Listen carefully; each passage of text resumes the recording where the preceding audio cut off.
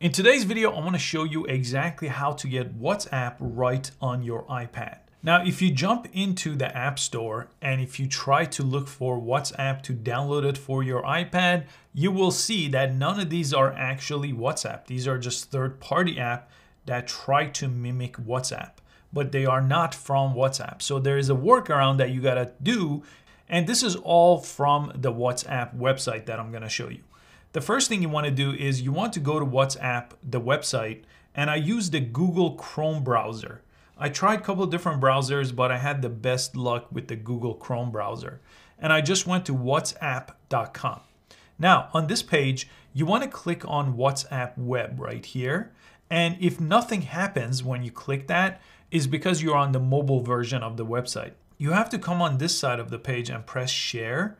And there's an option here for the desktop site instead of the mobile site that you see. Now, they might look exactly the same, but it will take you to this other page here when you see that. Now I'm gonna launch WhatsApp here on my phone. You could do this with any phone you have and then go to the camera app of the WhatsApp, not the camera app of your phone. Inside of WhatsApp, click camera and then go ahead and scan that QR code that shows up on your iPad with the camera of the WhatsApp. And I'm gonna press continue here. And then you should bring up this page. Use WhatsApp on other devices. So you have to press link device on this page. I'm gonna go ahead and do that. And just like that, it's now on my iPad. Let me show you around here. Now, this is on your iPad, but it's on the web, right? Because there's no native WhatsApp. They haven't ever made that for the iPad, but this is the closest you could get to it.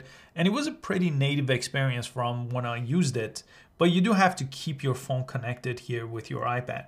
But you could jump into any conversation, you could type whatever you want. You still have all kinds of different options that you have with the mobile version of WhatsApp, but this time on your iPad.